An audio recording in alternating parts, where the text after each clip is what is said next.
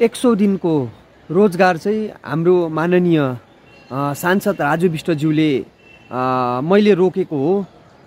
र यो एक सौ दिनेको रोजगार हुनु हुँदैन भनेर जुन चाहिँ वक्तव्य दिनुभएको थियो साँच्चै नै त्यो समयदेखि नै दार्जिलिङ जिटिए क्षेत्रमा एक सौ दिनको रोजगार बन्द भएको थियो। र धेरै हाम्रो मानिसहरूले जुन चाहिँ एक सौ दिनको रोजगार मा काम गर्नुभएको थियो त्यो काम को पैसा पाउनु सकेको थिएन। तर आजदेखि राज्य सरकारले सांसद राजु विष्टले रोकेको पैसा अनि भारतको केन्द्र सरकार बिजेपी जुन चाहिँ को सत्तामा रहेको केन्द्र सरकारले जे पश्चिम बङ्गालसँगै जिटिएमा पनि एक सौ दिनेको पैसा रोकेको थियो। र आजदेखि माननीय मुख्यमन्त्री र पश्चिम बङ्गाल सरकारले आफ्नो कोषबाट जुन चाहिँ मजदुरले पाउनुपर्ने एक सौ दिनेको रोजगार सुरु गरेको छ। जुन चाहिँ आफ्नो बजेटमा पनि कमसेकम पनि दुई हजार करोडभन्दा ज्यादी एक सौ दिने रोजगार को पैसा पुरा पश्चिम बङ्गालमा दिने जुन चाहिँ बजेटमा पास गर्नुभएको छ। हामी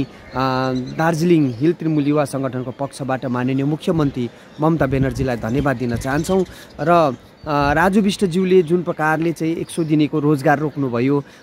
प्रधानमन्त्री ग्राम सडक योजनाको बाटो रोक्नुभयो आरआइडिएफ योजना रोक्नुभयो केन्द्रीय परियोजनाहरू धेरै रोक्नुभयो। माननीय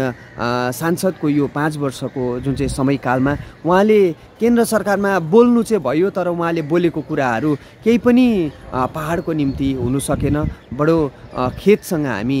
दुःख प्रकट गर्न चाहन्छौँ कि विष्टज्यूले कसम खानुभएको माकल बाबाको अगाडि कसम खानुभएको गोर्खाल्यान्ड म ल्याउँछु ल्याउँछु भनेको पिपिएस म ल्याउँछु भनेको एघारवटा जनजातिलाई ट्राइबल स्ट्याटस बनाउँछु भनेको मेरो सपना गोर्खाको सपना पुरा गर्छु भनेको भारतीय जनता पार्टीले केही पनि गर्नु सकेन। यो भारतीय जनता पार्टीको जुन चाहिँ शासनकालमा यो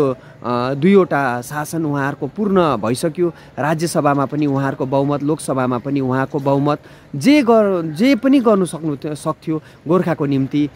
जे पास गर्नु पनि सक्थ्यो गोर्खाल्यान्ड दिनु पनि सक्थ्यो युनियन टेरिटोरी दिनु पनि सक्थ्यो एघारवटा जातलाई जनजाति बनाउनु पनि सक्थ्यो केन्द्र विश्वविद्यालय दिनु पनि सक्थ्यो तर केही पनि गर्नु सकेन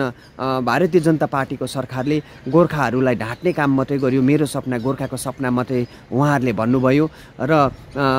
यो उहाँहरूको झुटो जुन चाहिँ राजनीति खेत एउटा गर्नुभएको थियो झुटको राजनीति गर्नुभएको थियो यहाँबाट नि स्पष्ट भयो कि